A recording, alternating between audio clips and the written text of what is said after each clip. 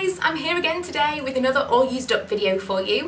Um, I have a couple of products here that are very very nearly used up and I'm going to talk about those first of all and I'm going to talk about those in this video just so that I don't have to wait another day to make the video because I'm already, um, what is that noise? I'm filming in my conservatory and that's why you can hear every single noise from outside but I don't even know what that is, it must be like bin men maybe? I don't know. It's very loud. Um, anyway, the first ones are the shampoo and conditioner from James Brown, and they are the Deeply Hydrate and to deeply hydrate and cleanse dry hair and enrich dry hair with a burst of nourishing moisture. So basically they are the ones that are formulated for dry hair. I bought these when it was three for two, so I also bought the Photo Fabulous Intense Treatment. But going to talk about these first of all. I bought them at number three for two. They're like eight pounds or something, or seven or eight pounds, I'm sure. More expensive than I was used to spending on shampoo, um, or more money than I was used to spending on shampoo for sure. And I was totally, totally unimpressed. So these are some things that I've pulled out of my cupboard recently because they need to be used up, but I don't think that they do much at all. Shampoo and conditioner, when I was using them, my hair was very, very dry. They're okay now, they'll do, but they don't do anything special. And um, when I really wanted them to do something special, they were probably less moisturising than a regular shampoo and conditioner that I'd been using from um, the drugstore. So I wouldn't recommend these, especially for the price. Uh, but recently I've been using the shampoo as normal. Um, and then the conditioner I've been mixing with this, which is a Mop Extreme Protein. Mop is modern organic products. I got this, I got a couple of them and I got them in the sale. I think this was supposed to be like £12 or something crazy. I would never have spent, spent £12 on this. But it's a protein treatment for damaged hair um, and people were raving about it when I worked at Debenhams and they had um, a few of them that I don't know if they were going out of date or the product was changing packaging but they used to have this little shelf of products that were very very cheap compared to the normal prices. And this was like two pounds or something plus then I got staff discount on top of that so it was practically free. So I've been mixing this and the conditioner and I've actually quite liked the way that they've been working together but I've been using them I've been using them as a mask. In fact, after this video, I'm going to go and wash my hair, put this on, and then I put on my um, Soap and Glory turban, um, which is thin enough that it doesn't dry the stuff off, but it keeps it on my hair. It means that it doesn't kind of drip down my hair. And I don't like wearing shower caps because they kind of leave this big imprint around my head. Um, so I'll use that and I will put on my turban. And oh my god, I don't like filming in here. There are like birds that walk on my head on the ceiling. Anyway, um, yeah, I use that and it leaves my hair feeling really, really nice. But my hair isn't as dry as it once was. So these products are okay now, but when my hair was really, really dry, they didn't do anything for me at all. So it's kind of swings and roundabouts. It's okay for my hair now, it's kind of normal, but that's not why I wanted them. So it's not awesome. I'm going to talk about the James Brown Photo Fabulous since I mentioned it already. Um, it says for glossy and moisturised hair, always be camera ready. Um, it does say that you can use it as a normal um, kind of conditioner treatment. It says after shampooing, massage into the hair from root to tip. Leave for 30 seconds and rinse for twice as long as you would with a regular conditioner. It also says somewhere, for thirsty dry hair that lacks moisture applies twice a week for a special treat. And somewhere, I don't know if I read this online because I can't see it in the back of here, it said to use it as a treatment, like an overnight treatment. I've done it that way, I've done it as a normal conditioner. It doesn't even feel like I've conditioned my hair. I hate this product. Um, this was probably more expensive than the shampoo and conditioner, but again, it was three for two. Uh, this was the thing that I was really excited about using, but it was rubbish. I really would love to hear from you if you've tried this and liked it because I hated it. Didn't do anything at all. Um, and even now, when my hair is much better conditioned, it still doesn't seem to do anything. It doesn't make my hair feel like it's got any conditioner on it at all. So, hated this, it was rubbish. Um, wouldn't recommend buying it at all. Um, something else that I've used up recently is the Yogi Flow by Rituals. It's their um, shower gel. Lee really liked this because he liked how it came out with the little what's it and I think that lots of different brands, even cheap brands do this now so I think I'm going to buy him some because he really liked the way that it came out. It smelled really nice um, but I'm not into Rituals. It's a relatively expensive brand for body care products and I've not tried anything that's kind of swayed me to want to spend um, more than kind of regular Boots prices on um, toiletries from them. So although it smelled nice, I won't be repurchasing it. Um, this is something that I never think to talk about, but this nail polish remover is the same nail polish remover I've used for years. Uh, it's nail polish remover acetone formula from Superdrug. It's just a regular nail polish remover. It's not expensive, it's nothing special, but it does the job and it's the same one that I use all the time. So I'm always gravitate towards it. I won't go into Boots for some reason. I will always go to buy the same one. It's crazy. Um, makes no difference to me really, does it? But um, when I run out, I always buy nail polish remover and cotton pads from Superdrug. I don't know why, because I hardly ever go into Superdrug anymore. I generally am all about the Boots points, so it's odd, but I will repurchase that.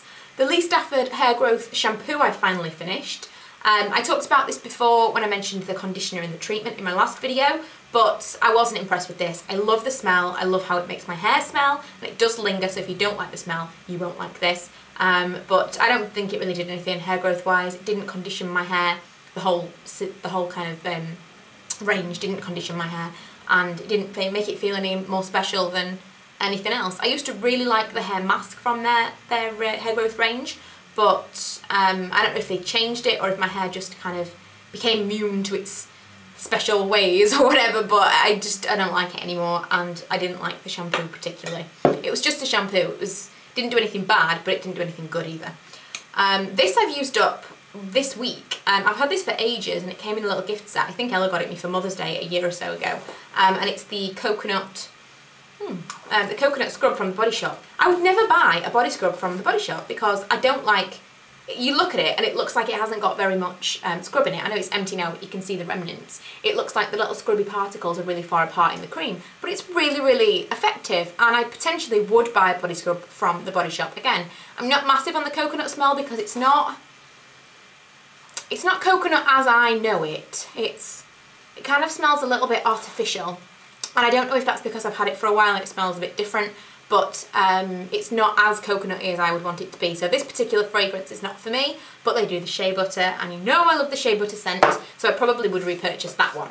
Um, three little sachets I wanted to talk about. I never talk about sachets that I use up, and I also tried the, um, I don't know what it's called, Perfection Lumiere Chanel foundation this month, I absolutely loved it. I'm seriously, seriously tempted to buy it. I think next time I'm in Boots I'm going to ask for a sample in my shade because obviously it was a beige sample that I got out of a magazine.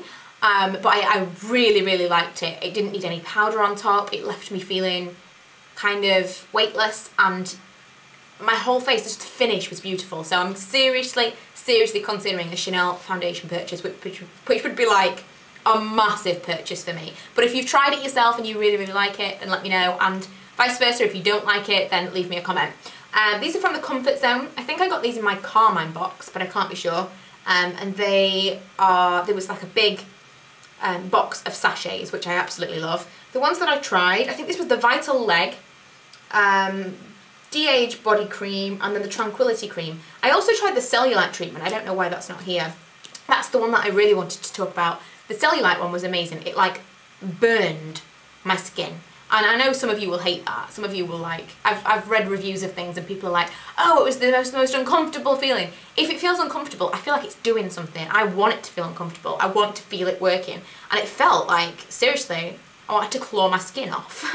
but I, I think that it was doing something and I probably would buy it. And if I was inclined to buy a cellulite treatment in the future, I would probably go to the comfort zone for that one because it felt like it was doing something and that is my number one, you know, placebo or not, felt like it. Um, the Vital Legs was really nice, that was cooling. Um, the De-Age body cream and the um, other one, Tranquility body cream, felt nice, but they were no better than a normal kind of drugstore body cream that I would buy. Um, last of all I have to talk about is the Youth Code from L'Oreal. I've been using this for mm, three or four months and I've not been using it sparingly at all. There's a tiny, tiny bit left actually at the bottom. The problem I found with this is because it's got the pipette, you can't you have to kind of pour it out when it gets to a certain stage, probably about a quarter left, you have to start pouring it out rather than using the pipette. So although I like the pipette because it gives me exactly the amount that I need, it's not ideal in this particular format. And I think that the new Youth Code serums are in a pump. So I don't know if that'll be better, but we'll see. I really, really liked this.